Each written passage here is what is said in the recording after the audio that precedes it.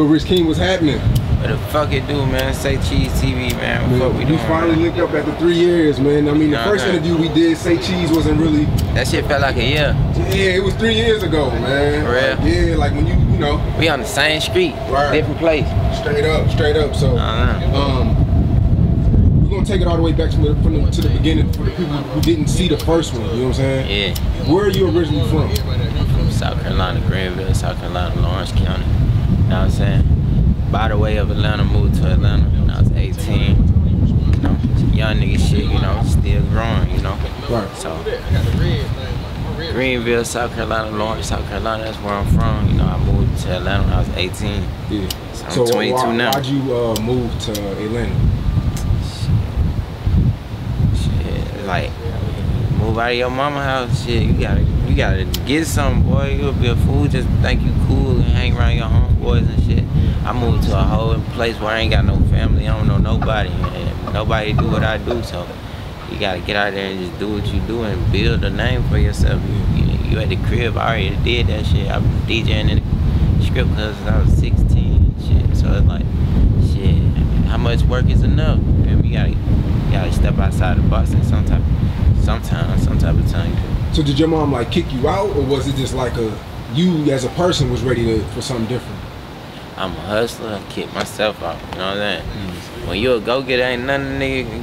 You want what you want, so it's like you can't put no limit on that. You know what you want. 18, you trying to make millions. You can't make no millions just sitting back doing nothing, waiting on your mama to give you something. Mm-hmm. I said, Mama, I'm about to support my dreams. Get out here and do what you gotta do as a you know grown individual. So shit, what I did. And really, that shit started at 16. I've been hustling, doing DJing and shit, busting, busting my ass since I was 14, 13. So it's like, you 18, man, bunch of young damn did kid parties, teen parties, sweet 16, strip clubs, goddamn Gu- Gucci Mane concerts, what the fuck, you know what I'm saying? So it's like, yeah, 17, shit like that. So like, you what? You comfortable? What, you gonna get comfortable? Right. 17. So, so 18, you moved down here.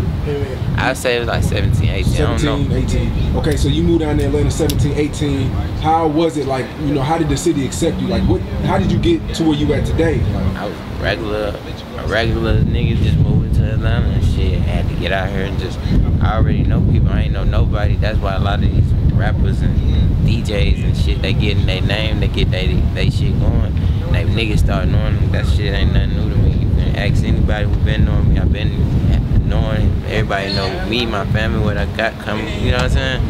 Like, I'm just out here grinding. Niggas see this shit from the internet to the streets. So like I'm on the internet. That shit taken care of. That shit speak for itself.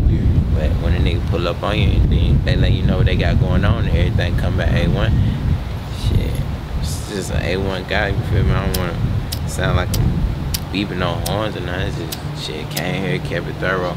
I wasn't pressed to go meet with the big rappers and none of that shit. I just fuck with niggas who accepted me, niggas who was on my level and who accepted me in and kind of find out the niggas I got a vision, so the niggas who I fuck with and accepted me in so happen to be the niggas who, you know, and the city done changed. It ain't what it was when I moved here. You feel me? When I moved here, it was different rap groups, different rappers. You feel me? Like now it's different. We all young niggas. I can name five rappers out of the city, and I know them all personally. And we damn near the same age, so it's like it's different. Young niggas really. I feel like when I moved here, so many other young niggas moved here at the same time. You feel me? Metro moved Atlanta the same week I moved here. So it's like it was just that time. A lot of people moved here. You feel me? So it's like shit like school. You know, every year new group of people come in. Shit, just came here and just you know culture. Yeah. So- we really look at the city like it's a culture for for this shit. So we came here and kept this shit going. Right. A lot of niggas they they got big headed and thought that was on. They, you ain't never on. You feel me? Young niggas coming to take your spot forever. That's why I'm I'm 22, but I know it's a nigga at that crib 18 ready to take my spot. And I salute him, boy. Keep your shit going. You feel me? Come on. You feel me? I ain't gonna do nothing but salute you. Now right now we're sitting on your car, forty thousand dollar car. Mm-hmm. Was it always like that? Like, you know what I'm saying? When you went to Atlanta, like how was your was the finances I like? went to Atlanta in a Honda. I had a Honda Civic. Uh, How much money do you think you, you had in your pocket when you stepped in Atlanta? But I spent on the apartment, spent my money on the apartment. Shit, brought all my shit there, got in the apartment, made my money. Sitting there, do what you gotta do. I'm, I'm, I'm a grinder. You know what I'm saying? It's different. I, I, I every nigga out there doing what they do. I ain't got no point of proof. I ain't no big bad whoop. I'm letting you know. I'm a hustler. I have a million ways to get it, boy. I got. I ain't never got one plug. I ain't never done one thing. You know. 600 mixtapes in, but that shit ain't never come overnight. That's some shit started from my mama crib all the way to where I'm at today. You feel me? Like, trying to build a studio and shit like that, take shit to a different level. So like that shit really just a mindset. You feel me? Nigga, start with shit. You know what I'm saying? I don't give a fuck if your mama and daddy do got shit. My mama and daddy, they they bless me with vision and help me with support. They ain't here, here go all this, nah. It's support, but a lot of niggas have a lot of shit given to you, and that shit still never do nothing. Shit. You So ain't got no heart, you ain't got no hustle, you gotta have a hustle. Came with a hustle, a mean hustle, a mean grind. Something nobody can take from you. You know what I'm saying? Building so basically, brand. when you moved out and got your apartment, you really didn't have no money at the time. Just hustling. You invested in something and flipped it and hustled to where you got I been, to. I been, you know, DJ. Niggas like DJ. This is what I was just telling one of my DJ partners the other day, bro. A DJ learn how to fix chords, hook up sound, and rock a crowd. But we ain't going in the club walking out with no twenty thousand like no regular artist. You feel me? Artists, they ain't got to do nothing but go mumble some words and you know, stop punch me in. That shit cool. I respect it like a motherfucker. I respect it because it create a vibe. But at the end of the day, being a DJ, I can work five times a week. Probably not come up with a thousand dollars. And being a young nigga, you feel me? So, shit, if that's what it is, I'm gonna overwork myself. That's why I got 600 mixtapes on live. All right, cool. That's how I got make money. Shit, go get this. That's why my demand for mixtapes and all that shit, that's my hustle, you feel me? I came in this shit pumping mixtapes, finding the next artist, you feel me? Yeah. Came to Atlanta, you got Scream, you got drummers, they out doing their thing. I'm young, everybody I know young. Or they were looking for exposure, they just doing their talent, so like shit. Get in there, same way I met you two years ago and now we here, you feel me? Shit, you gotta see vision, shit. I can't fault nobody who don't see a vision. Yeah, that's like a nigga mad at Facebook whenever Facebook wasn't popping. Niggas tell I don't fuck with that, but when the shit get popping, you on there every second. It's the same shit with this shit. I'm ahead of my time. I'm already on with y'all, not even accepting. Yeah. And when y'all start accepting, I'm 10 steps past it. So it's like, I'm just a genuine hustler, bro. So, hustler. so how did you how did you meet Rich Homie Quan? Because I mean, you started popping in Atlanta, but I feel like you know, Rich Rich Homie Quan is when like the world you know discovered you. You know what I'm saying? How did you link with Rich Homie Quan? Shit. I Just really just got over him once. I was doing my shit on the mixtapes, just doing my thing. you feel me? Shit. So shit, I reached out, let's work on some mixtape shit. I'm a young nigga just trying to, like I said, looking for new talents. Popping. You know, nobody know this nigga, so it's like shit. Niggas know him, they on the buzz, but I'm like, niggas I know, they ain't know. So it's like shit, reach out to a nigga. I'm solid, bro. I ain't got no point. Like I said, so nigga gonna sell me, they gonna fuck with me. So like, fuck around. And my boy, like, shit, did the mixtape. Mixtape did good. Gave me some exclusive shit, went solid. Niggas was fucking with it. Good response. Reached That was the first mixtape. yeah, it's kind of like a little compilation type shit on live. You know, like you know, just me, but Hoodrich Keem take with help from an artist he hosted. So like he did, I'm reaching out. Like shit, fuck with you, we go on the road. Woo, woo. Shit, sooner or later we just got it, got that shit together, got in motion, doing that shit. Shit just did what it did, but me, I always had a vision, like I say.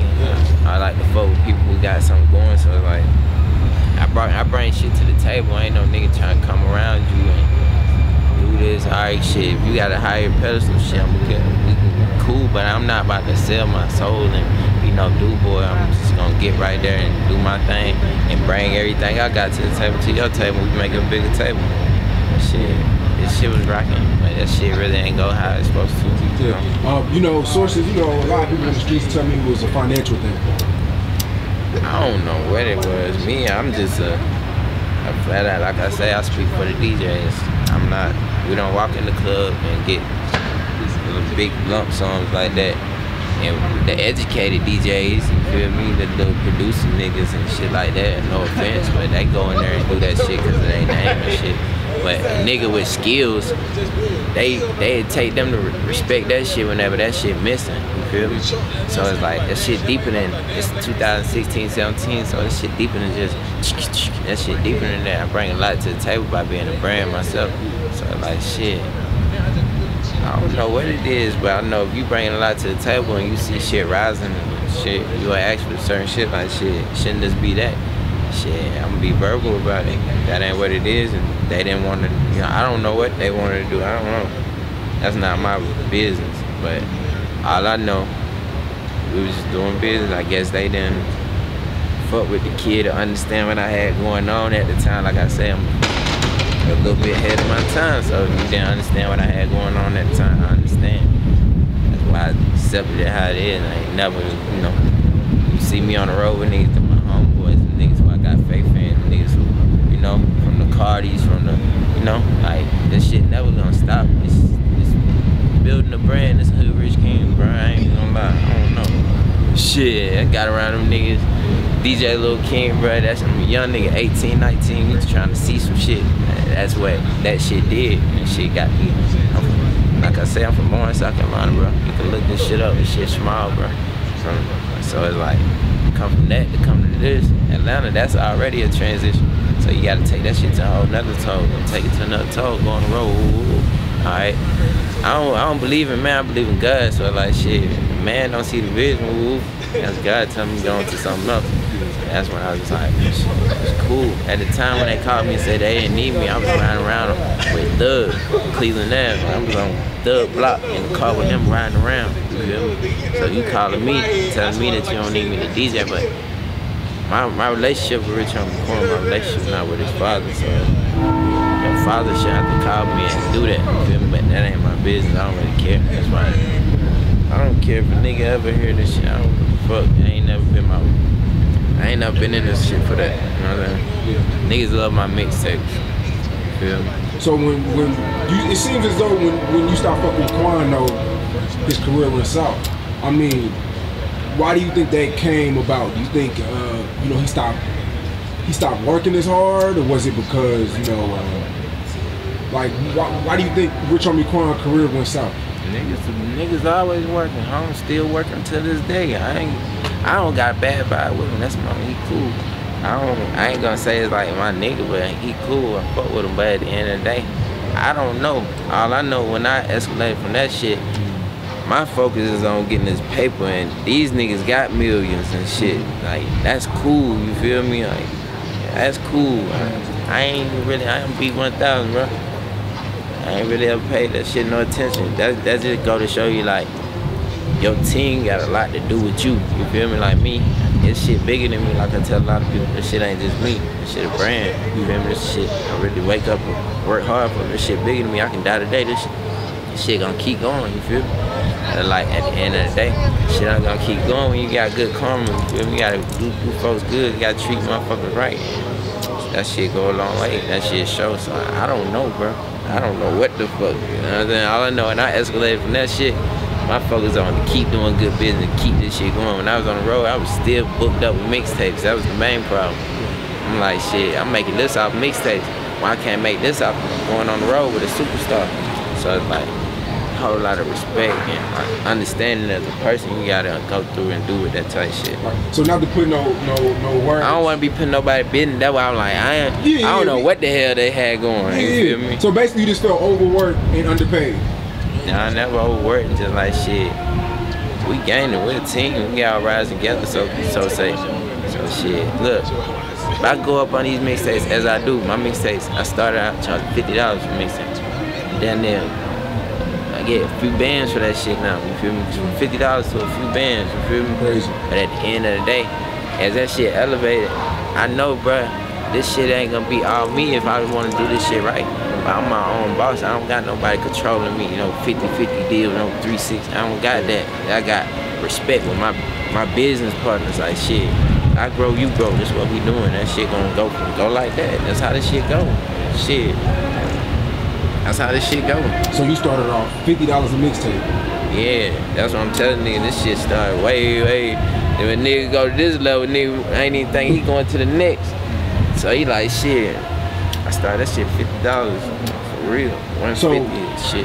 When you and Rich Homie Quan split ways, you was was you and Thug already working together and people Yeah, like how did that come? How did those come? That's what I'm saying.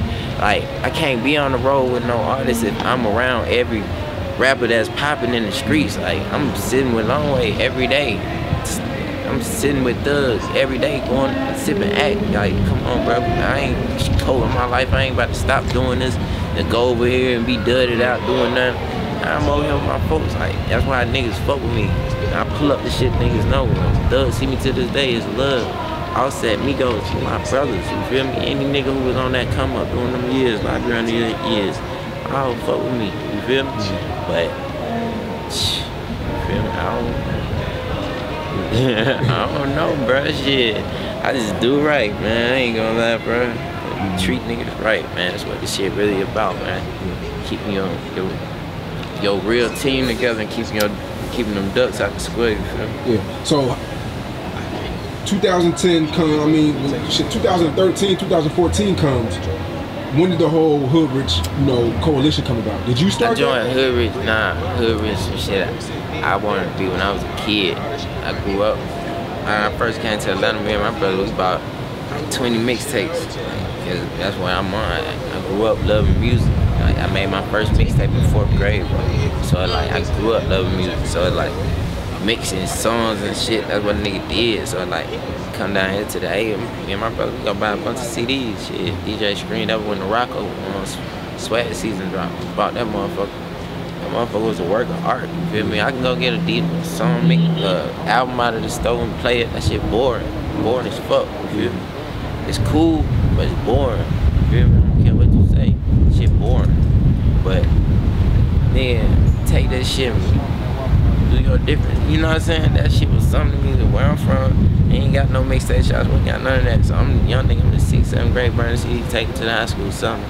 Ooh, what? It's a come up. It's a what? How can I go wrong? Take that shit, transition that shit to live mixtapes. You feel me? All niggas did. That's why I don't know if I jumped off the question or what, but that's all.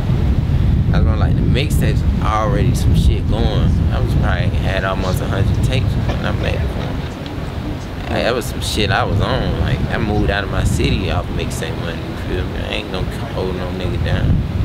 You feel me? Plugged in like a bitch though, but got all the way. To, you know what I'm saying? That's off the grind, knowing I can do stacking and saving. You feel me? So it's like. Nigga want to be an artist, you want to be a DJ. All right, you can be that, but you want to take that shit above and beyond. You gotta do business. You gotta understand business. You gotta really love what you do. I don't been a young nigga and drifted out with you. If you don't love what you, you do, oh, that shit ain't gonna love you. Fuck you. Somebody else doing that shit with a passion. Fuck, you feel me? So like, shit, young nigga, I know niggas out here to get this shit. I want it too, so I'm get it way before nigga get mine, man. For real. I don't know how to put it.